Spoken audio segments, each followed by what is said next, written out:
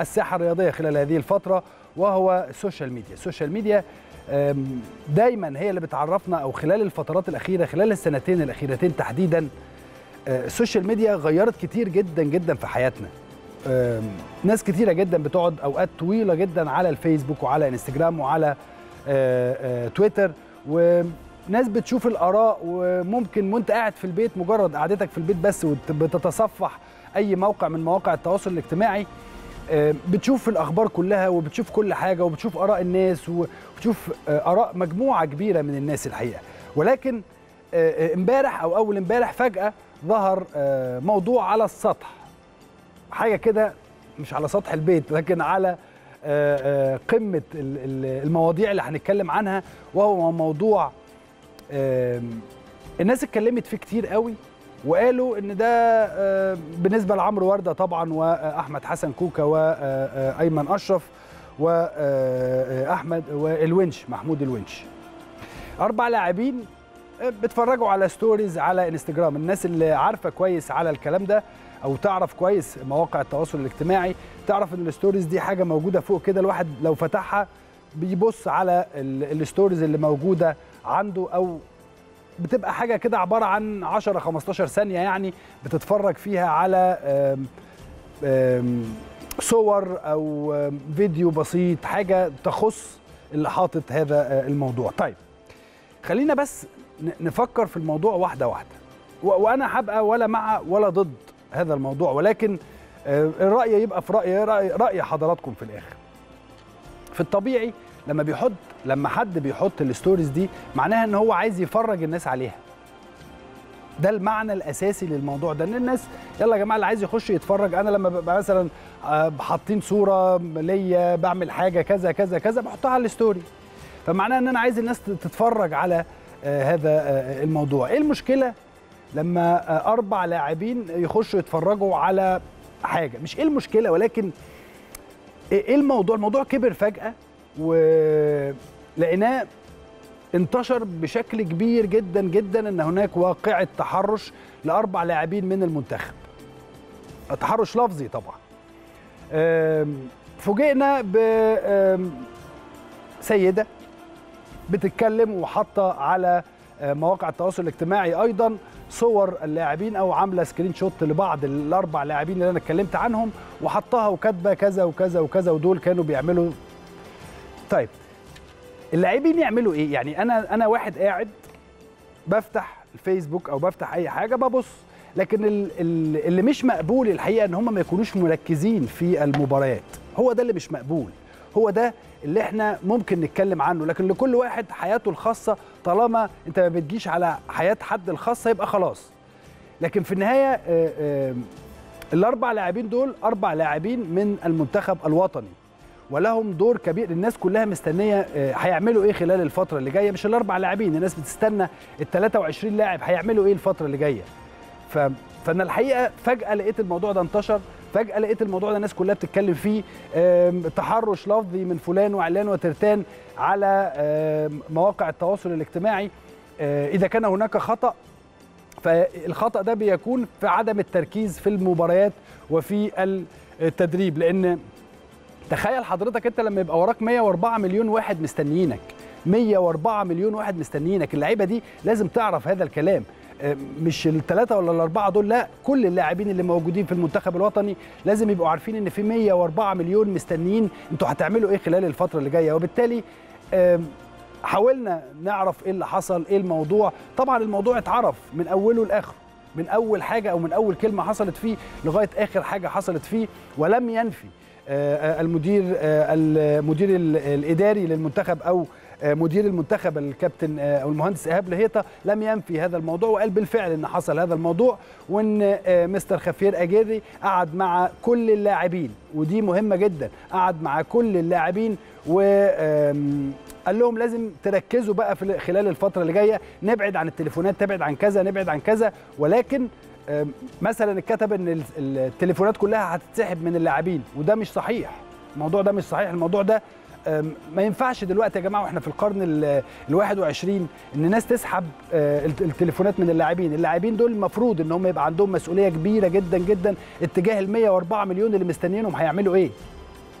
104 مليون مستنيين ال 23 آه، لاعب اللي موجودين في قائمة المنتخب هيعملوا إيه خلال الفترة اللي جاية؟ وبالتالي قعد معاهم مستر خفير اجيري قعد مع كل اللاعبين وأوصاهم إن هم يركزوا خلال الفترة اللي جاية ويبتعدوا تماما عن مواقع التواصل الاجتماعي ويبتعدوا عن كذا وعن كذا وعن كل ما يعيق تركيزهم في المباريات القادمة. لأن إحنا عندنا مباراة مهمة جدا جدا يوم الأربعاء القادم. معرفش أنتوا فاكرين أو الناس اللي بتتكلم لسه في هذا الموضوع فاكرة ولا مش فاكرة؟ عندنا ماتش مهم جدا يوم الأربعاء اللي جاي. ماتش مهم جدا اللاعبين دول أخطأوا منهم من أخطأ ومنهم آه، من لم يخطئ من وجهة نظري. آه، اللي أخطأ يجب أن يحاسب. يحاسب إزاي المدير الفني يحاسبه مش أنا اللي هحاسبه أو مدير المنتخب هو اللي يحاسبه. مش أنا اللي هحاسبه ولا حضرتك اللي هتحاسبه. دول المفروض إن هم لاعبين محترفين عندهم قدر كبير من المسؤولية. عندهم قدر كبير من المسؤولية يخليهم يعرفوا إيه اللي بيحصل أو المفروض يعملوا إيه والمفروض ما يعملوش إيه. خدوا بال حضراتكم في ناس كتيرة جدا نفسها تروح تتصور مثلا مع لعيبة المنتخب مثلا. و... وناس من القريبين يعني مثلا هتكلم عن نفسي مثلا أنا أعرف معظم لعيبة المنتخب. وممكن جدا إن أنا أبعت أتكلم مع أي حد فيهم وأقول له آه، أنا ولادي عايزين يجوا يتصوروا كذا عايزين يجوا يتصوروا كذا كذا كذا الموضوع. ولكن كل تفكير الشعب المصري أو الناس اللي المفروض إن هي مسؤولة في هذا الموضوع أنا شخصيا بعتبر نفسي مسؤول. حضرتك كجمهور بتاعت أنا بعتبرك مسؤول عن كل تركيز المنتخب خلال الفترة اللي جاية لأن المنتخب في حاجة إلى التركيز وفي حاجة إلى المساندة. المساندة فقط هي اللي المفروض تحصل خلال هذه الفترة. منتخبنا الوطني عنده مهمة أنا بعتبرها مهمة قومية الكل بيعتبرها مهمة قومية وهي الفوز بهذه البطولة بعد هذا التنظيم الرائع اللي إحنا شايفينه والكلام اللي إحنا عمالين نسمعه الحقيقة. الواحد لما دلوقتي يجي يتكلم على المنتخب الوطني أو على حفل الافتتاح والتنظيم الرائع حتى الآن النهارده مباريات الدفاع الجوي أم، حاجة رائعة جدا جدا وحاجة محترمة جدا. المباريات اللي بتتلعب في استاد السلام إيه الجمال ده؟ إيه الحلاوة دي؟ وأحد أصدقائي وكان عايش فترة طويلة خارج مصر ولما رجع اتفرج على شوية في الدوري المصري واتفرج دلوقتي على آه، بطولة كأس الأمم الافريقيه النهارده وأنا قاعد بتفرج على ماتش المغرب وناميبيا دخل كده قاعد بص على ال- الماتش وقال لي بقول لك إيه هو الماتش ده في مصر؟ مش مصدق من جمال التصوير ومن جمال التنظيم ومن جمال الملعب ومن جمال المدرجات ومن جمال الجمهور اللي موجود. حاجة جميلة جدا جدا جدا. فبالتالي هي مهمة قومية إن شاء الله تكلل بالنجاح في نهاية هذه البطولة يوم 19 منتخبنا الوطني يلعب المباراة النهائية ويستطيع أن يفوز.